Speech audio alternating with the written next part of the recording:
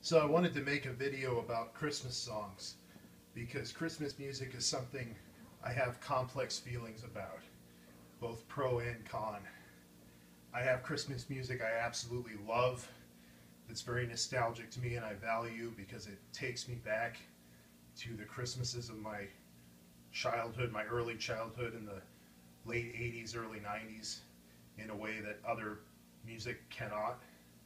And uh, I wanted to talk about Christmas songs that I absolutely love and I absolutely hate. And we'll start with my favorite Christmas album of all time, which is Leon Redbone, Christmas Island. Leon Redbone is a very interesting musician. He's been active since like the 70s, I think. He has kind of, his sound is very hard to pin down, and I think that's purp that's purposeful. We should listen to that one after this because I don't think I've heard that before. We should. Unfortunately, I didn't include the disc. Well, no, I'm just saying Google it. Would it just be on? Oh yeah, yeah, that's on you. It's on YouTube. Yeah, we'll Just watch it or but yeah, music but I didn't bring the album. And for anyone who's expecting to like see a bunch of albums for me to like like whip out some collection, some imaginary collection I've got, and put the albums down so you can see them. Uh, I don't. I'm not the type of person who collects Christmas albums. In fact, I'm not really the type of person who collects albums. Period. So I don't have all of those. So you're gonna have to you're gonna have to settle for this for a uh, a visual. Wow.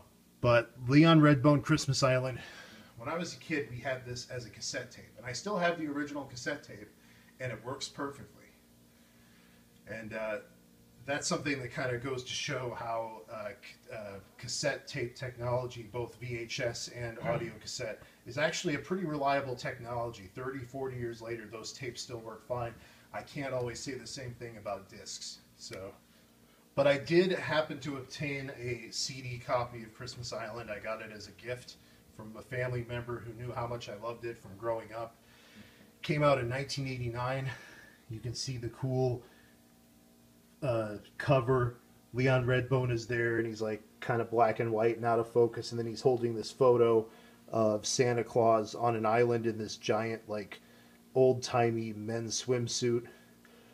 And what I love about this album, number one, if I if I actually were banished to an island, like a tropical deserted island, by an evil wizard or something, and he said you can only take one Christmas album with you, just one no hesitation whatsoever it would be this one. Wow. because to me this album is christmas music.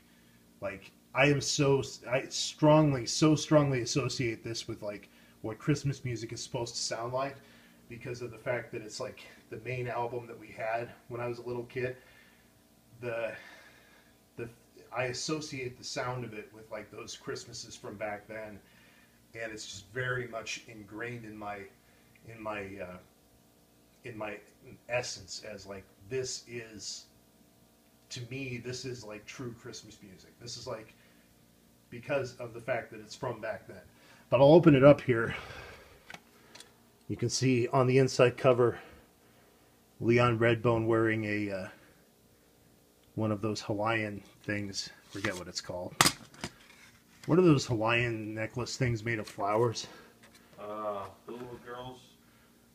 Yeah i forget what they're called the i'm from the midwest so i don't know Yeah, I've never had one of them. Aloha. Leon Redbone, his music kind of, it's sort of a mix of blues. You can see the different songs on there. It's kind of a mix of blues, sort of New Orleans Cajun type jazz type stuff, and and Polynesian kind of Hawaiian stuff. It's sort of a kind of a conglomeration of all three of those, especially in this album, which came out in 1989. And I we listened to it in the early 90s and to me like the first half of the 90s like 1990 to 1995 my early childhood i'm a 90s kid so like that's my early childhood is like 90 to 95 those were probably my best christmases. And uh, this this album is basically the soundtrack of those christmases so that's why in my mind i really think of this as the christmas album of all time and he does brilliant things. Like for example, uh, he sings, he does a cover of White Christmas, and it has kind of a, a Polynesian sound to it, even though he's talk or not White Christmas, uh, uh, Winter Wonderland. Like imagine, imagine a song about snow, about a winter wonderland, and it's and it's this sort of Hawaiian sound. I mean, and I always loved the contrast of like having this sort of like Polynesian tropical sounding music and then having it being snowing and cold outside, like that cozy feeling that I got from that. I always loved that, and I, I think that's one of the reasons why this album resonated with me so much. So, but uh, uh, and then "I'll Be Home for Christmas" has kind of a Cajun sound. I believe he did that because Leon Redbone uh, kind of considers New Orleans his uh, his home, his base of operations, even though I read somewhere that he was that he's from like New England or something.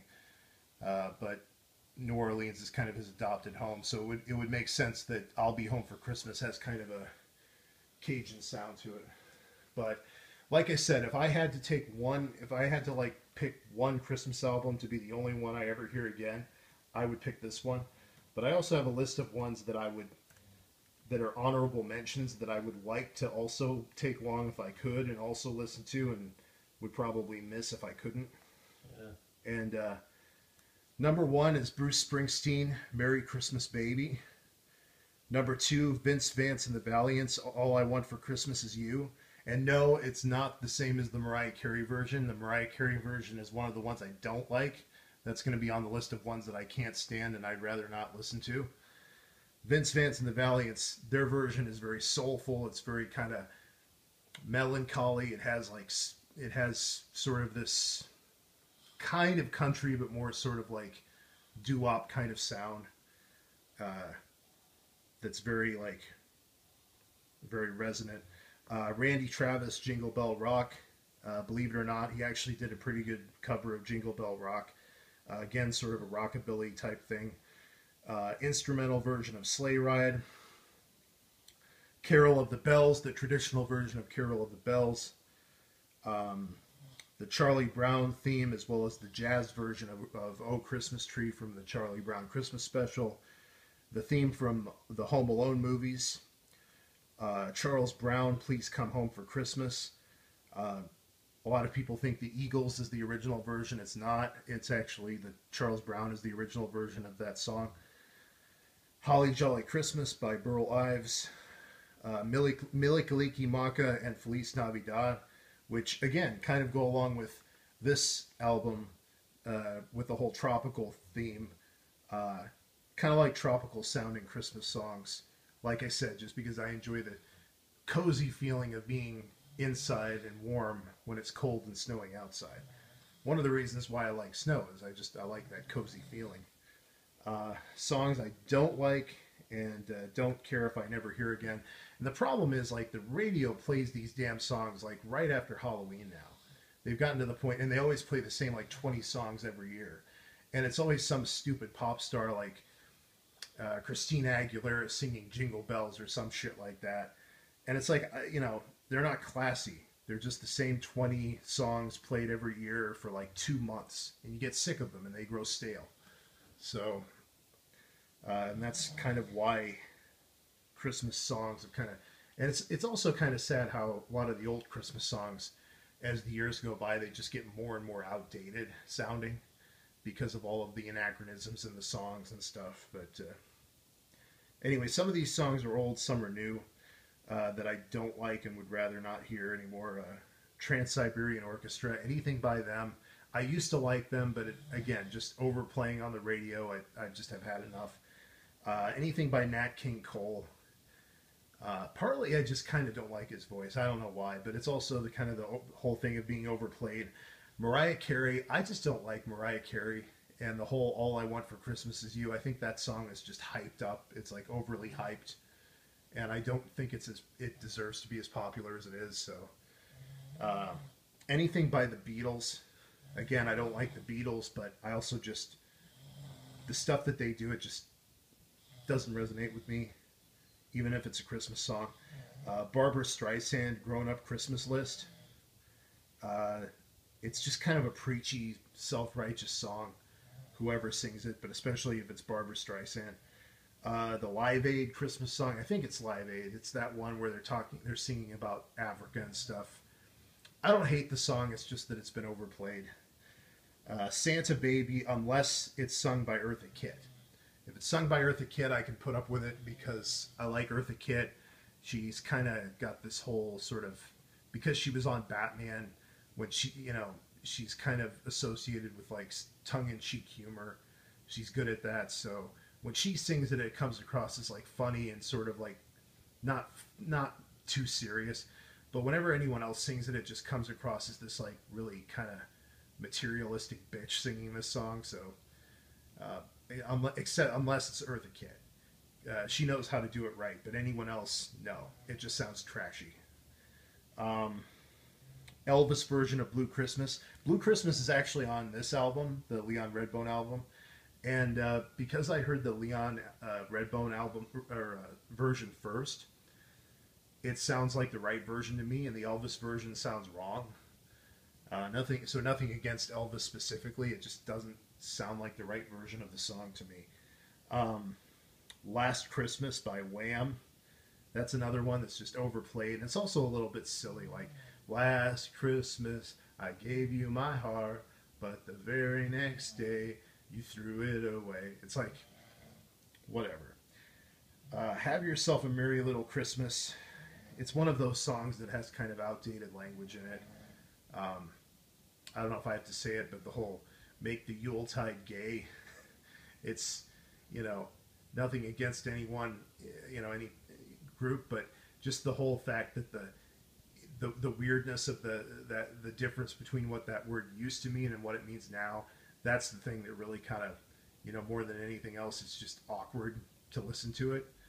Um, just because of that, not because not against any group. It's just the whole weirdness of the of the cha- the change in in the in language and stuff. And there are other examples of that in different songs, like um, uh, what's that one? Uh, Most Wonderful Time of the Year, where they're talking about like uh, scary ghost stories. Like who who tells ghost stories on Christmas anymore? You know, it's it's kind of like one of those anachronistic traditions that doesn't exist anymore. So so that that's the big thing. Just Christmas songs that have those kind of uh, those kind of anachronisms in them kind of weird me out because they just don't, you know, they don't, they're they're not relevant anymore, uh, which is kind of sad in a way, but it's also just sort of the way it is, I guess. Um, it's beginning to look a lot like Christmas. Uh, because of that line that mom and dad can hardly wait for for school to start again. I kind of, to me, that's kind of a shitty line. I don't know. I just don't like it. Um, and number one, the number one song I absolutely can't stand and never want to hear again. And uh, dude, you're gonna agree with me on this. Christmas shoes.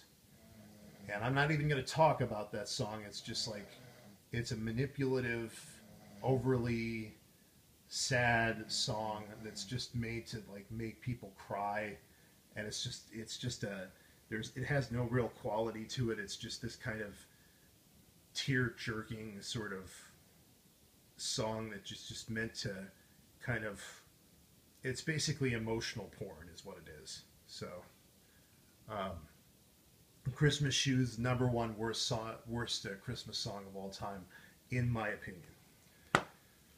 But there's my list. I've probably forgotten a few.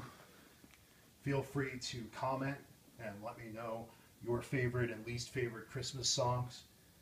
And this may be the last Christmas video I make this year. We'll see. But uh, at any rate, stay tuned and I'll see you next time.